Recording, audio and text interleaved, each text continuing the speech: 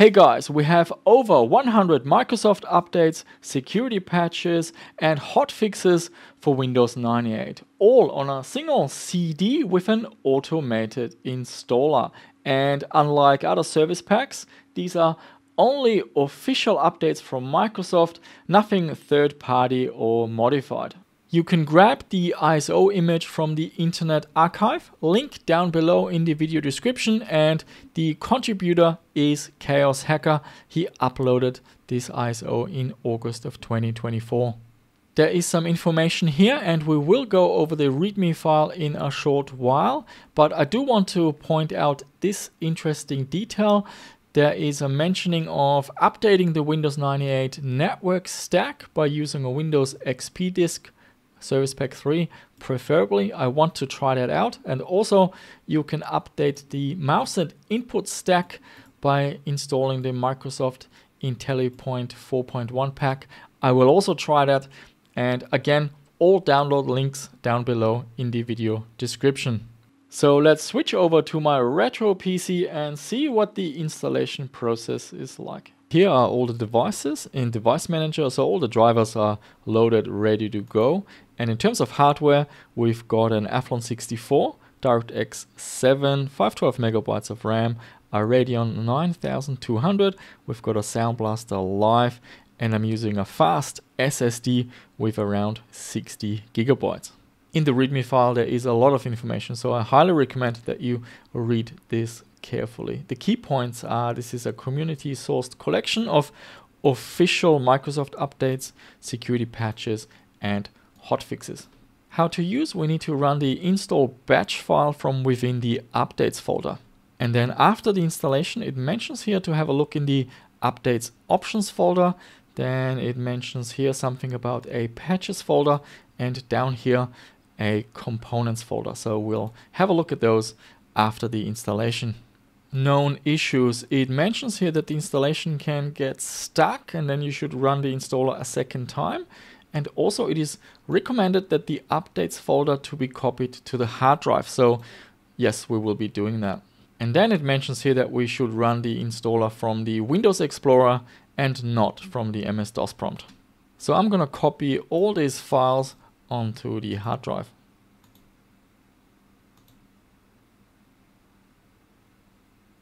So let's go into updates and run install. Proceed with the installation? Yes. Press any key to continue. I'm gonna say yes to Windows Media Player 7.1. And I'm also gonna say yes to Internet Explorer 5.5 Service Pack 2. Press any key to continue.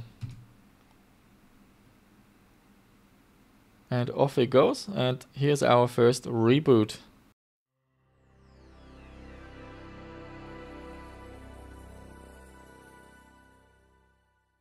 That was the first reboot and it's continuing the installation.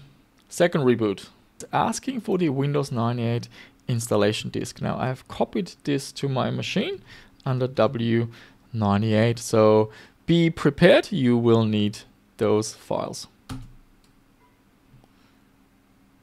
And then here we're getting a version conflict. So it's noticing that the files already installed are newer than the one it's trying to install. So you want to say yes, because we want the latest files installed on the computer.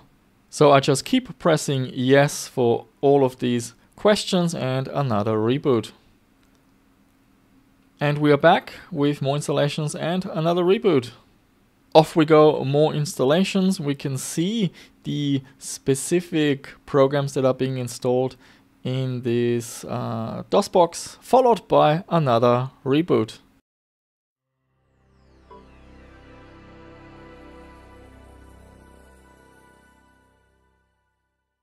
Okay, it's now installing Windows Media Player 7.1. Yes, I would like to continue. I agree to the terms and off it goes. Next. I have read the privacy statement. Next. Yep, let's install everything. Good to go. We I'll leave everything at default. Next, next, off it goes, and finish for another reboot. Do we want to install a codec package? Let's go for it. I'm gonna install everything that is being offered. Next, upgrade new components only, reinstall all components. Let's let's leave the default option. Yep, everything next, next, finish, and another reboot. And we are back. Let's see what's in store next. Yes, it is Internet Explorer.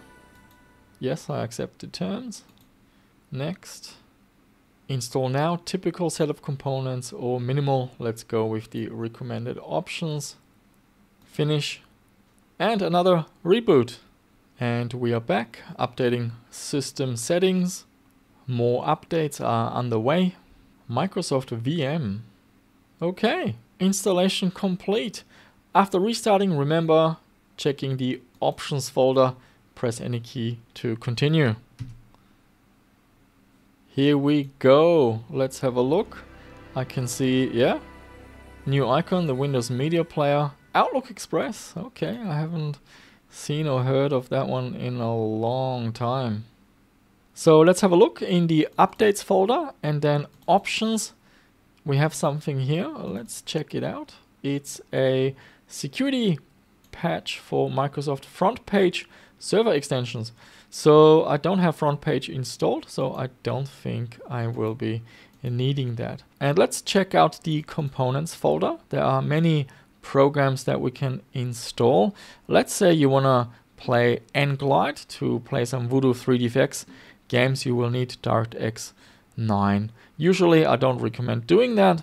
Usually DirectX 7 is more suitable, but let's just pretend we are in such a situation because I just want to show you what the process is. So let's install DirectX 9 and this shouldn't take too long and always, as always followed by a reboot.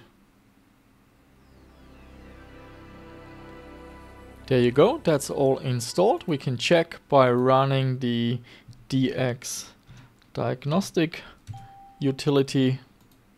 We should see the version number here, DirectX 9. And next, there are some updates, I believe. DirectX 9 updates. Let's run this one. That was quick.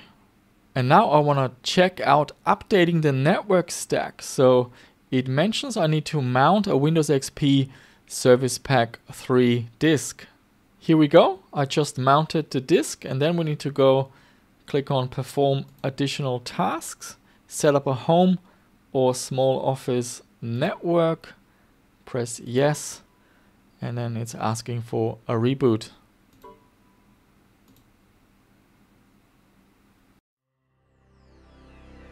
Welcome to the network setup wizard. Next, next, uh, computer, I don't have an internet connection. Next, Yep, that's fine. I'll leave everything with the default options. Yeah, again, version conflict, just press yes for every time you see such a pop-up. And yes, another restart, you guessed right. And finally, I want to install this Microsoft IntelliPoint software. Next, let's have a look, select your region, accept the agreement. Okay, what mouse do I have? Let's say basic mouse. That's fine. Next. I don't want to register. Next. Finish. And yes, another reboot. And here we go. I think this is the last final step. Select a mouse. Well, I'm not quite sure what I should choose here. Let's just go with optical mouse. That's what I have. Next. Next. Next. Next. Well, it's got lots of information. I think this is just information. So yeah, I think that's it. All patches and all, all the software installed, ready to go. And here we have 3D Mark 2000 running. That's just a very basic test. I do feel for gaming to recommend this update CD. A lot of testing uh, needs to happen and that's my idea to share this with the community, give it a try on your retro PC, but do take an image of your hard drive just in case something goes wrong. So guys, we have watched the entire installation process and for me, yeah, everything worked just fine. A couple of observations. You will definitely need the Windows 98 installation CD or have the setup files copied to your hard drive. Also, the machine will reboot many times and we are getting quite a few messages about version conflicts. When you see those, hit the yes button in order to keep the very latest files with your installation. I liked how it didn't force a newer version of DirectX, so I could manually select which version I wanted to install. And I really didn't notice anything off or anything that didn't work. I only tested a few benchmarks and games afterwards, so more testing is needed. And I hope this is where us as a community we can give this a try on our retro gaming PCs and report any feedback and maybe in the future there will be an updated version. In general for gaming I stick with the vanilla Windows 98 SE and DirectX 7 but maybe you are trying to play more modern games from the XP era and that might require some updated files or maybe you're doing something totally different with your machine and here the Microsoft updates come in very handy. If you want to give this a go, I recommend you take an image of your hard drive because you never know things can go wrong. So whatever disk imaging software you're using, take uh, a snapshot and if anything goes wrong, you can just restore your system back to how it was. And a big thank you to the person that put this disc together. The retro PC community is fantastic. There's always something new that's happening and many people working on little projects behind the scenes. And yeah, for me, I love testing these out and sharing it with you, spreading the love, spreading the news. So yeah, give this a try. I think this could become a very important project for us. And yeah, that's it for me for this one. Thank you so much for watching. Leave your thoughts down below in the video comments and I shall see you soon with another one.